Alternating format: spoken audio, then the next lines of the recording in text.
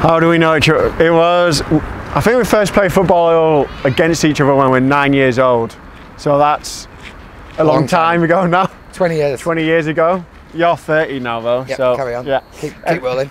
And uh, then we went to the same college, and then in college we asked the question, "Oh, where are you going to university?" And you said, Leeds, and I was like, "Me too." And then from there, we that had it. Stuck her on another. many drunken night, and now yeah, went travelling together. Yeah, that's it basically. Yeah. Darryl, Darryl summed it up, hasn't he? Uh, By so, plane, by plane, by plane. by yeah. plane. It was easy. The more you get to know Darryl, the more you'll get used to his rubbish banter. But Dad um, jokes. top dad jokes. So, yeah, in 2009 we were finishing up at uni. Uh, England was in credit crunch, and we thought, oh, why not spend all our money going travelling? Uh, we were supposed to go for six months. Went started off in South Africa at the World Cup. Um, yeah, went watching England all around South Africa, which was really good. Definitely Really depressing. recommend- Yeah, Yeah. very depressing. Spent a lot of Um, money. a lot of money sat in Africa watching England be no we're not going to swear rubbish um, then went Thailand for a few weeks and yeah came to Australia so six month trip turned into seven, years. And then from there, yeah, we went to New Zealand. Where else have we been? South America. South America.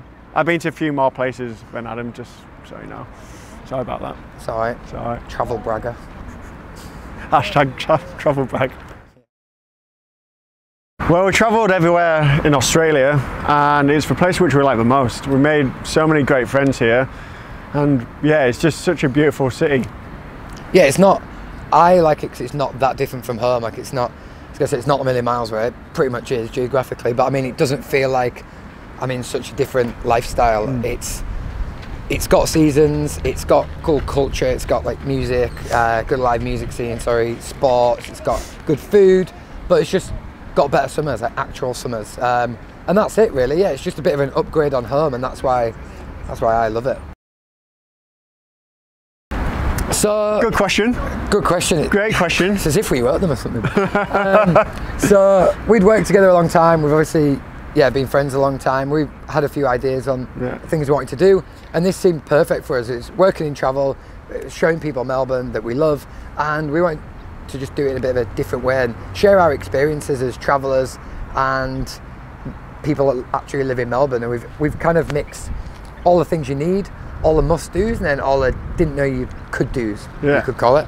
Yeah, we worked in travel for the last six years, and plus we have that first-hand experience. We know exactly what it's like to come to a new country with all these questions, and we thought, well, we need to help people as soon as they get to Australia.